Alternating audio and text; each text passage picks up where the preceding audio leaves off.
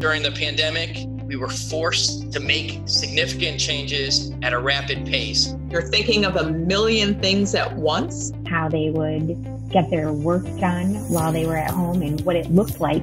Making sure that students and teachers have the access to the programs that they need. And let them know that, you know, we're still here for them to support them.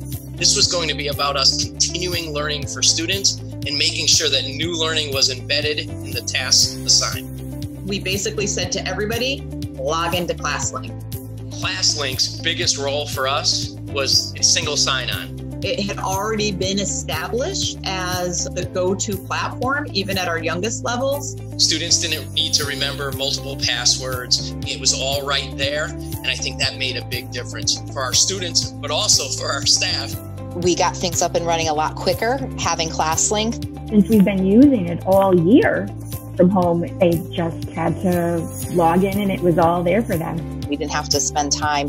Here's your login for this program and here's your login for that program. And the parents didn't have to either. So it was all in one central location, which was very helpful. The Board of Education, they're really looking for that high level overview with ClassLink Analytics. I was able to show them we were averaging about 700 staff members a day, which is almost 100% of our staff and about 4,000 unique logins of our students every day.